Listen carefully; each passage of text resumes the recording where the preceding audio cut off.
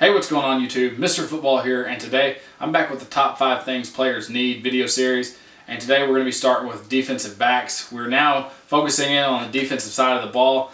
Uh, so we're going to start with defensive backs today. Later on, we'll break up the defensive line uh, and do defensive tackles and defensive ends, uh, specifically of what they need, and then finish up the entire series with linebackers last. Uh, so today we're going to classify defensive backs as really two positions. You're either a corner or a safety. Uh, and so both positions really play the same and kind of need the same equipment. And so we really just, we're going to break them down the same way. Everything can go if you play corner or safety. All right, so we're going to start with shoes or cleats. Important thing with cleats, specifically with a player that's going to be dealing with a lot of speed, you want to be using something that's going to allow you to change directions very quickly and allows you to uh, be quick on your feet something like the Nike uh, Vapor series uh, that used to be around. Uh, they've come up with several new versions, but this is one of the older ones. This is a defensive back. Uh, any kind of cleats that you know a receiver would wear, defensive back's going to kind of be right there in the same uh, kind of realm. Uh, you want to try to find probably molded cleats would be the best. Something that's just really lightweight. It's going to allow you to change directions very fast, be able to speed up, slow down uh, and be able to change direction. So that's a very key when you're looking at your cleats. You want to look for something that's probably uh, low, uh, just based on the position, um, just for, to cut out weight on the shoes, or cleats I should say. Uh, the next thing we're going to talk about is um, as gloves, and I didn't really rank these as like top things. I mean, these are just five general things you kind of have to have. We kind of leave off one of these, but if, if you decide to wear gloves, um, Go with a receiver glove. Go with a lightweight receiver glove. These are the Under Armour Swarm gloves. It's the original Swarm um, from a year or two ago. Uh, you just want something that's real lightweight. Remember, everything about this position is lightweight, speed, uh, being able to have a lot of free range. You don't need anything holding you down. Uh, specifically with gloves, you just want something that's uh, going to give you that receiver style grip and going to allow you to uh, make a play on the ball and give you that little extra edge uh, to catch an interception. Uh, it's really gloves for a defensive back. You know, you could, some may say you could go with a super bad glove, like a hybrid padded glove, but I would stick with a, I would stick with a lightweight glove, and that could just be on your preference though. Uh, the next thing, and this is something new that we're doing with the defensive series that we did not do with our offensive series, but talk about the shoulder pads that you need.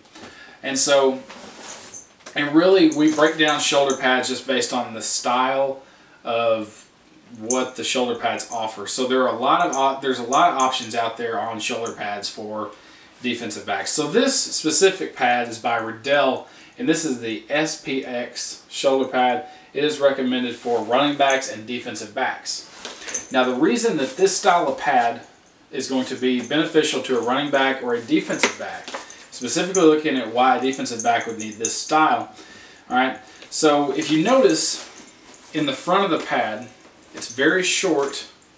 Very First of all, this set of pads I love because they're such a lightweight, like real compact shoulder feel. Um, you know, they they the pad height on them is very small, very minimal, um, but they're compare them to like linebacker fullback pads. Uh, this is going to have a very shorter sternum piece uh, on the shoulder pads. Um, the back is kind of standard.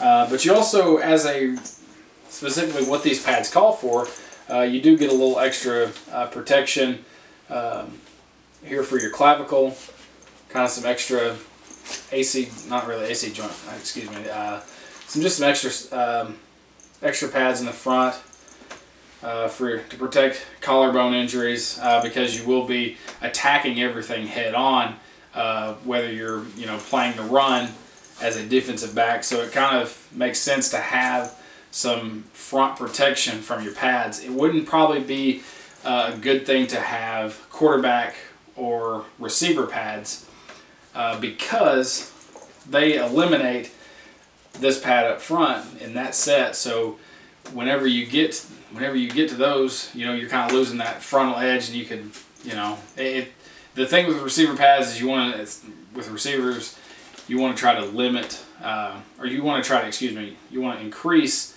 your uh, range of motion. These will still give you a good range of motion. You'll just have added protection. So this is uh, probably the most recommended set of pads that I would get for uh, from Riddell. There are other there are other options to this, but this is the Riddell SPX running back defensive back pad. Um, I would highly recommend that to you guys as far as the style that goes. So I've got two other items uh, to to break out. Uh, as far as padded protection goes, uh, you'd want to find a girdle that's lightweight, such as a three-pad girdle. And, you know, there's really no preference on brand.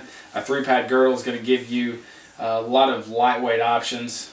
Um, just something, something lightweight. not, the whole thing, like I said, with this position is not allowing you to slow down uh, and be able to maintain play at a high level. So a three-pad girdle uh, with just hip, tail, pads is kind of what you need. The last thing that I kind of thought of, and this is more of a swag item, uh, but you could really, you know, chalk this item up to preventing abrasions on the field.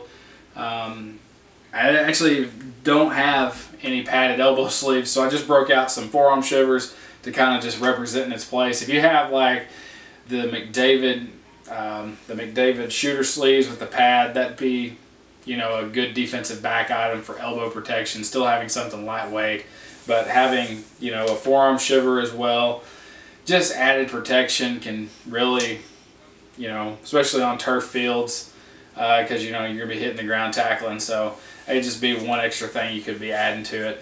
If you think I left off anything you're welcome to leave anything down in the comments below that you use uh, at the position of corner or safety defensive back. I left off visors because that's more or less a swag item. I know this was what I consider a swag item but uh, I really think a elbow, an elbow sleeve, a padded sleeve is going to be beneficial to a running back and a defense, or excuse me, a, uh, a defensive back. So talked about the pads, uh, something new we tried. We will be talking about uh, the different pads of each, um, each of the two lineman sets that we're going to do, the defensive line, the D tackles and D ends. We're going to be doing those, and then even linebacker as well.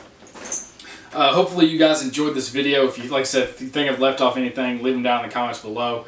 Um, there's always room for interpretation with all this stuff, but more or less this is a general idea of what a defensive back player would need and kind of having his arsenal. Thank you guys so much for watching. Hope you guys stick around for the other videos. Thank you guys so much. Subscribe, follow me on Instagram Mr. Football Coach, and we'll see you next time.